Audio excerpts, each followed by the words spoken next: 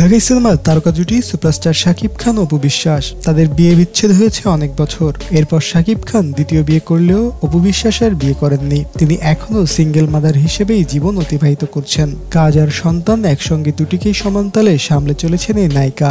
যদিও ডিভোর্সের পর বারবার তার দ্বিতীয় বিয়ের প্রসঙ্গ এসেছে মিডিয়ায়, তবে নানাভাবে বিষয়টিকে এড়িয়ে গেছেন অপু বিশ্বাস।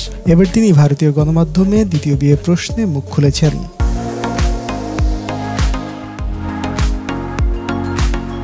উপবিশ্বাস বলেন, কখনোই দ্বিতীয় বিয়ের কথা ভাবেন না।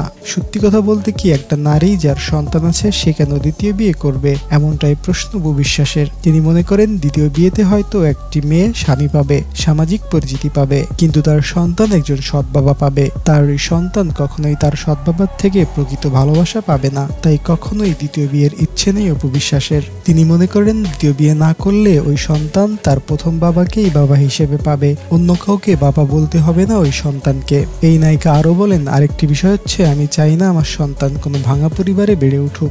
আমি যেমন আমার শ্বশুর শাশুড়ি এবং সাকিব সকলেই ভীষণ সচেতন এ ব্যাপারে। জয় সবসময় মনে করে তার বাবা মা কাজে ব্যস্ত থাকে, সেই ব্যস্ততার কারণে তাদের দূরত্ব এবং আলাদা বাসায় থাকা হয়। এমনটা ভেবেই সে বড় হচ্ছে। এদিক থেকে জয় খুবই ভাগ্যবান যে সাকিবের মতো একজন বাবা পেয়েছে। ওর বাবা নিজের সন্তানের প্রতি খুবই স্বচ্ছ এবং যত্নশীল।